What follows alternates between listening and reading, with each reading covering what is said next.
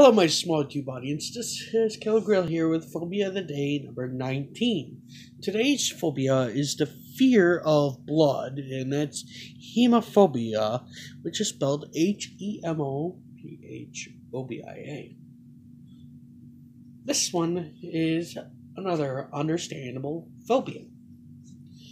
I honestly get a little squeamish around blood, especially after I actually cut myself with while uh, doing something, either while I'm cooking or, or working on cutting something up for to um, move it to a different place, or when it helped my uh, grandfather putting drainage tile in fields.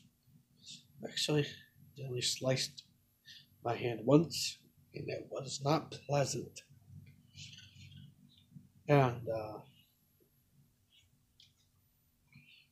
Anyway, I hope you like what you see. You Like, comment, share, and subscribe.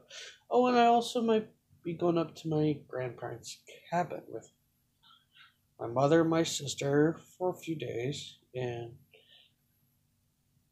I'll still make sure I'm doing my phobia of the day stuff, and I might get some footage of going across the Mackinac Bridge so I could take in views and also we'll get a sense of how big that bridge is. And just have some fun. Alright. If you like what you see, like, comment, share, and subscribe for more videos. Alright, stay safe, and God bless you all.